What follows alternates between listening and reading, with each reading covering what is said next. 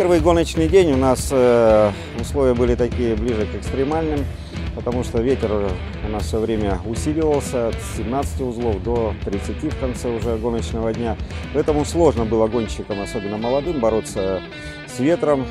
Они еще немножко терялись э, вот, в этой обстановке. И э, борьба как таковая э, с другими соперниками, она отошла на второй план. День второй. В общем, будем говорить, что ветер э, начал спадать уже, и э, результат намного улучшился у всех.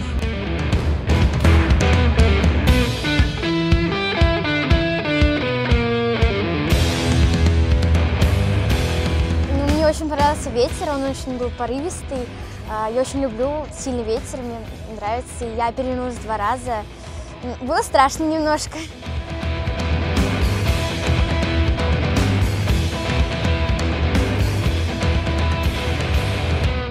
Тенистой северной столице регата уже с историей для самых маленьких спортсменов, в том числе для начинающих. Здесь они становятся настоящими моряками, и мы надеемся, что именно эта регата является такими воротами большой мир парусного спорта.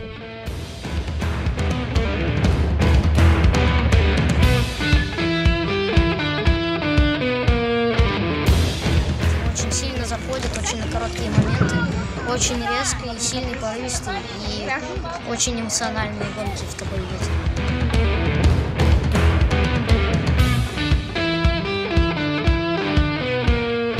И победителем среди мальчиков стал Сотников Андрей.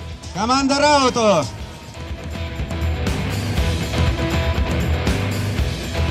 Этапе хорошо, что сделали отдельную группу, которая называется «Кадеты». Это как раз для ребят, которые еще мало принимали участие в соревнованиях, у кого-то это первые соревнования.